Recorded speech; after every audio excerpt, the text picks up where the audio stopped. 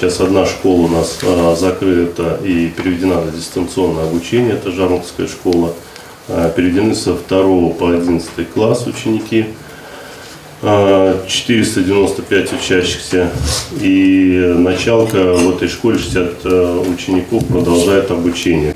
Диагноз COVID-19 жителям Одинцовского округа стали ставить чаще. Прирост наблюдается среди тех, кто старше 60 лет и школьников. На дистанционное обучение по рекомендации Роспотребнадзора перешли 8 классов в семи образовательных учреждениях. Система здравоохранения муниципалитета к подъему уровня заболеваемости готова. Мобилизация коечного фонда не требуется. На сегодняшний день 881 инфекционные койки. Это а, в Никольской больнице и в 45-й больнице Звенигорода. Из них 37 реанимационных коек. а, Есть возможность увеличения до 54 а, коек реанимации. На 1 октября лечение от коронавирусной инфекции в больницах муниципалитета проходит 643 пациента.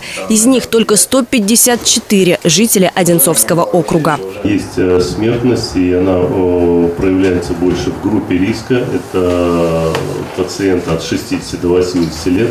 Но всего от коронавирусной э, инфекции смертность составила 203 пациента.